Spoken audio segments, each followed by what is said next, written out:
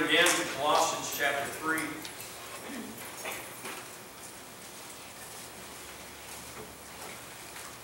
To look at verses 16 and 17 today.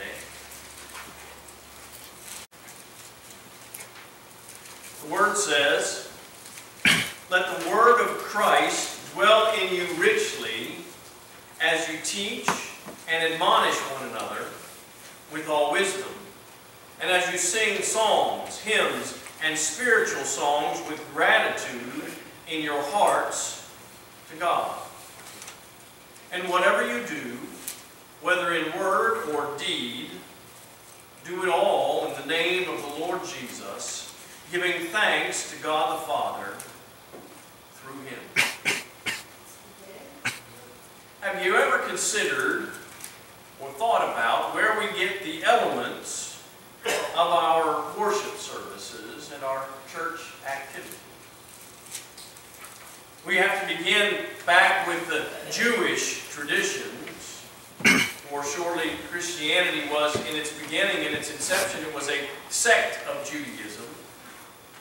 Now having made a complete split, we still reach out our hands to our friends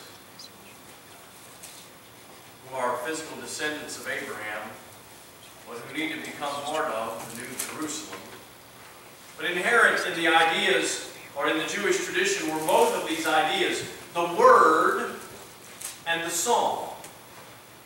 God had given the priests as a special class. You remember when the, when the law came, when they were freed from slavery in Egypt.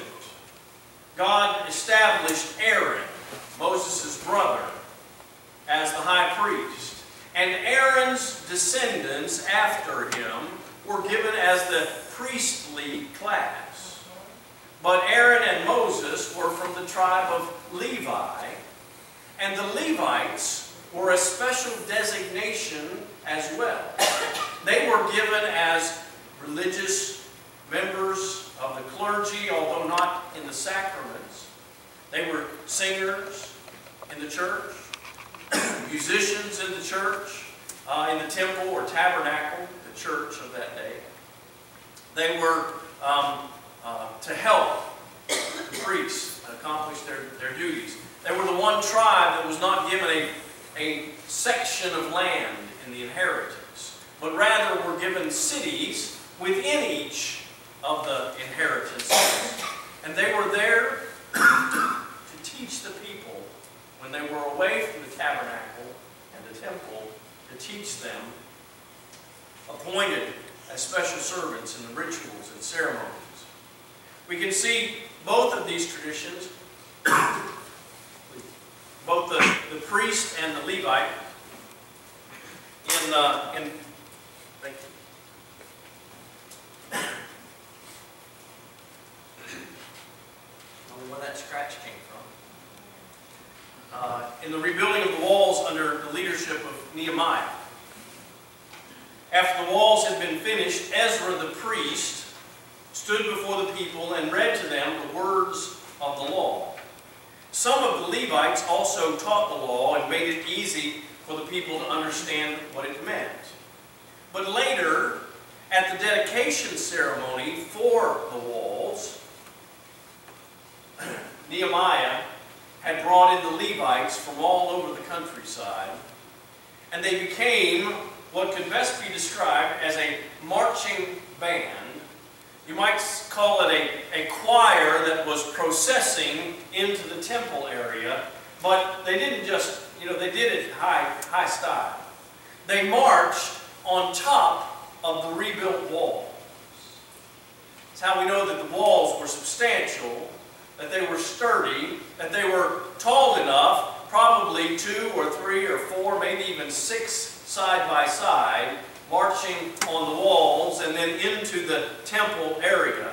They proceeded in two groups, one coming from each direction. Can't you imagine it now around the, the walls of the temple, of the walls of Jerusalem? Here come the choirs and the singers and the drummers and the harpists marching in, singing and shouting and playing to God. taking their places eventually in the house of the Lord. Now, by the time Jesus came around, the, the synagogue had taken over much of the affairs of the people, the daily affairs, the weekly affairs of the people. They still made pilgrimages to Jerusalem on a regular basis, as was appointed by the law. They would go to the Passover. They would go annually to, uh, to offer the sacrifice, to be there during the times when it was uh, the big festivals, religious festivals.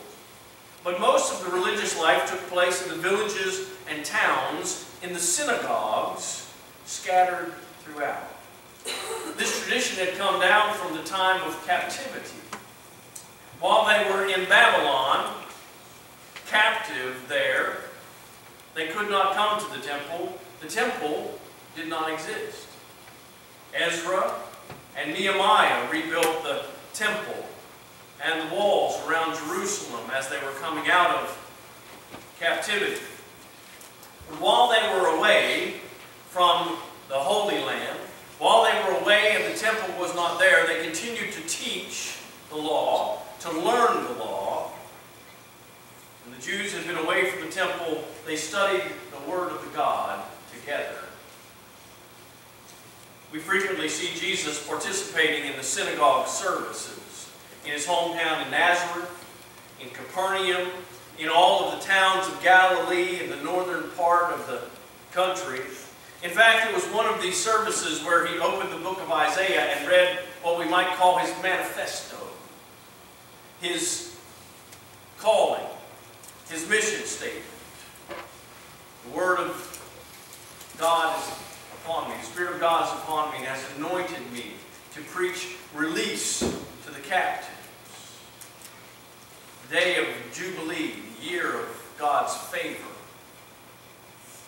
Indeed, even when he was on trial before the Sanhedrin, Jesus said to them, I have always openly taught in the synagogues and in the temple the Jews always meet. I have said nothing in secret.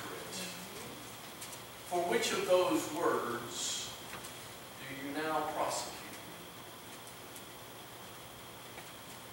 Jewish tradition was there.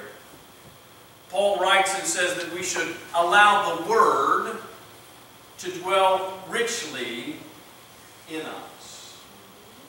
The idea is that the Word greatly influences both our attitudes and our actions. It's not simply that we should, it should be proclaimed together. Now there is a place for the public reading of the Word, but it is also to dwell in us richly. It's not really just one person teaching the Word. It's, it's more a small group our Sunday school classes, our Wednesday services. It's a group of people sitting around and allowing the Word of God to engage one another. In those tradition, Paul says in one place that uh, if one is speaking and another one has an inspiration, the first one should be quiet. We interrupt each other frequently in Bible studies, don't we? Which is okay if God prompts us to speak into that. Each of us has the responsibility to allow the instructions from the Word of Christ to deeply affect and influence how we exchange and interchange both our internal attitudes and our external, our external actions especially in the church, how we interact with one another, the Word should be our guide. I think Paul may have been taking another uh, crack as well at those who felt like they had some special knowledge. You know, they, they held back that knowledge that they had. They said, this is special, and only certain ones of you could get this knowledge. Or maybe only those of you who would be willing to, to pay for the classes could get the special knowledge. I think Paul is saying as well, no, no, no. Don't hold the word back.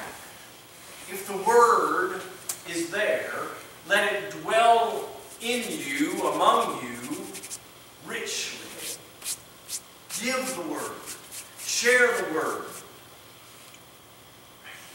We're to teach and admonish, he says, with all wisdom.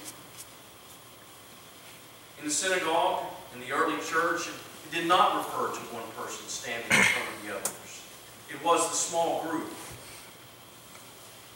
But it was also with all wisdom.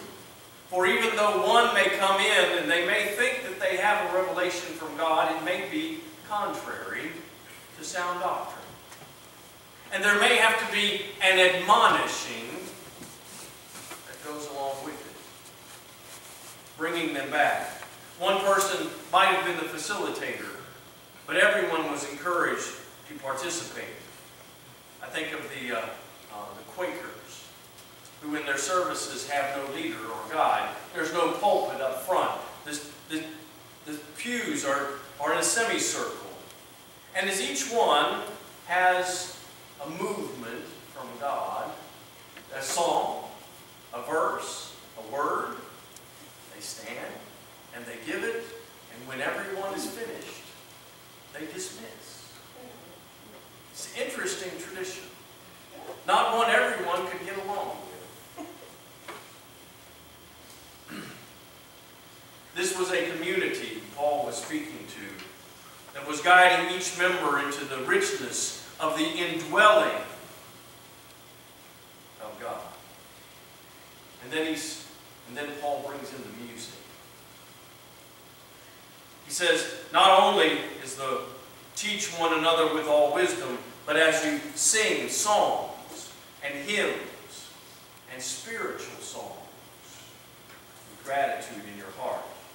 Music was important in the life of God's people, even for the Jews in the ancient world.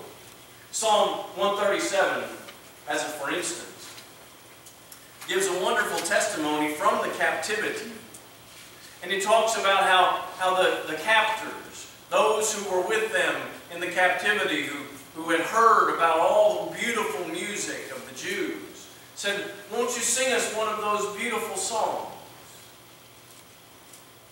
The psalmist writes, How can we sing the songs of God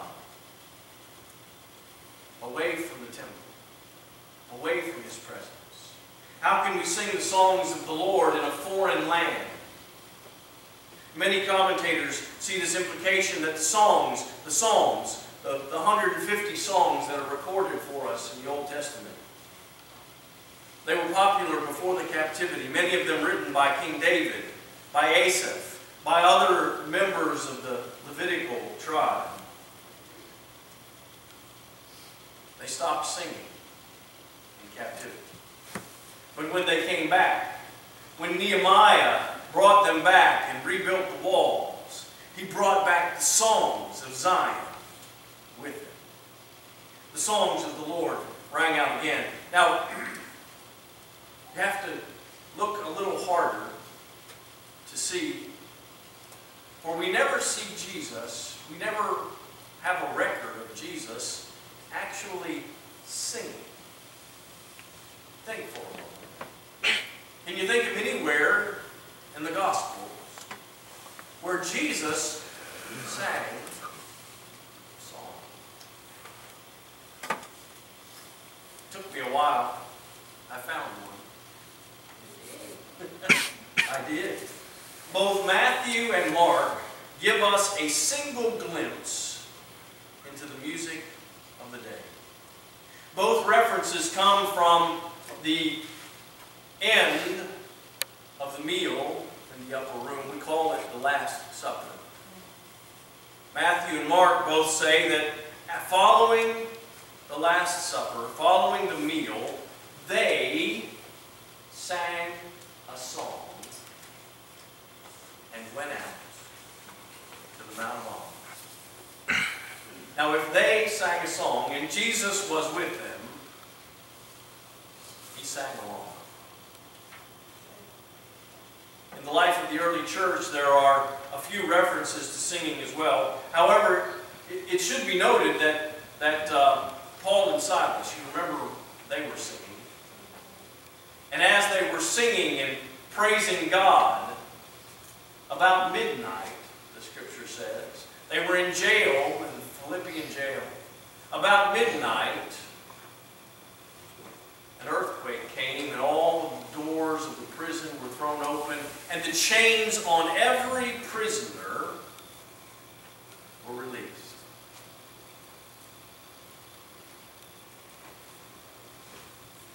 Singing.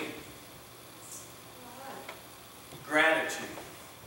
Now, if Paul and Silas were singing the songs of the church, they probably had practiced them before. They probably weren't making up the songs as they went along. They were songs that the church sang across the region. Maybe even the songs that Paul taught the new believers when they came in and were baptized and believed. There's no reason to believe that this was a rare occurrence or that it was unique. The disciples sang a song together, it means they all knew Paul and Silas were singing together, it means they were on the same page. They may have been singing in harmony, but they were singing from the same book, the same page. Finally, one of the earliest descriptions of Christian service given to us by a non-Christian. Pliny was the Roman governor of Bithynia, which was the eastern section of what we call Asia Minor. It was right across the Adriatic Sea on the west side. And he wrote to Emperor Trajan. Trajan was the emperor from 98 AD to 117. He wrote to the emperor about the Christian service. He said they meet at dawn to sing a hymn to Christ as God. Every morning, Christians in town would come together before they started their regular daily events. He doesn't say that they would share a story. He doesn't say that they would sit down and have communion. He says every morning they came and sang a song to Christ as God. He was so impressed by their singing, this is one of the primary elements that he included in his reports. Barclay says that the Christians of the first century were unique. For no other religious festivals included that kind of singing together. There is wisdom to be shared in us, through us, and among us. It should surprise us little then that these two elements, the Word and the Song, should accompany the new church, the new Israel, the new assembly of believers. There was the sharing of the Word. There would have been the Old Testament prophets, the prophecies about Jesus. There would have been the stories about Jesus which were circulating in oral form, which eventually would be written down in the Gospels. They would know, do as we have done today, they would have recounted one of his parables, and they would have plumbed its depths, and they would have risen in the heights of joy as they experienced the Word. The goal was not knowledge, simply, but wisdom. Knowledge is understanding the facts, and wisdom is the application of the facts. Knowledge is knowing, wisdom is doing. Wisdom is the goal.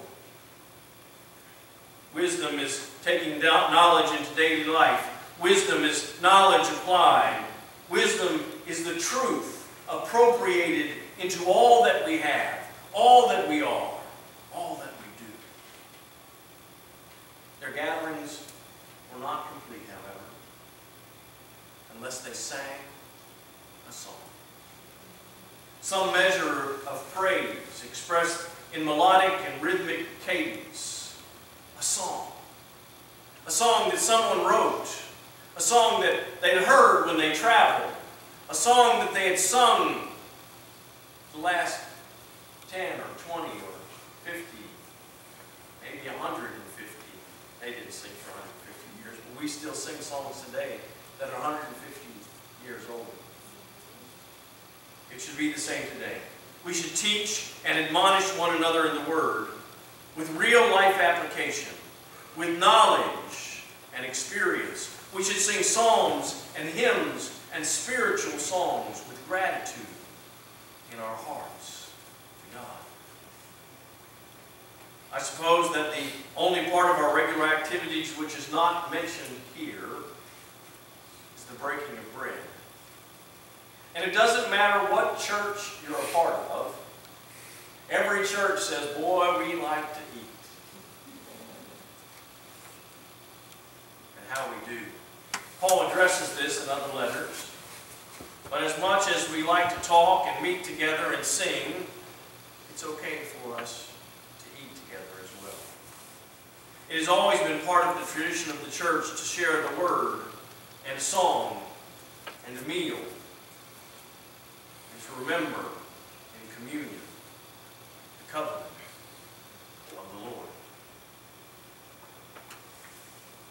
Perhaps then today's message really is an invitation to a deeper walk.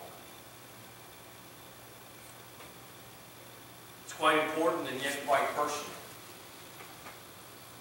Have you allowed the activities of the church, the word and song, to dwell in you richly? Do they change and transform your attitudes on the inside and your actions on the outside? Your interactions with others, are they transformed because the Word dwells in you? Because there's a song in your heart as you go through the day? Are you a participant in the Word or simply an observer of all that goes on. My prayer is that each of us would grow and prosper, allowing Christ to dwell in us and among us richly. Wonderfully, when the Takes root in our heart and begins to grow inside of us, then everything else is transformed. And then verse 17 comes in. The capstone, if you will. Whatever you do, in word or in deed. You see, if the word of Christ dwells in you richly, then it really is not a command, but it's just a statement of fact. Whatever you do, in word or in deed, do it in the name of the Lord Jesus Christ. Remember, we are His. He is our motivation. He is our source. He is the one for whom we live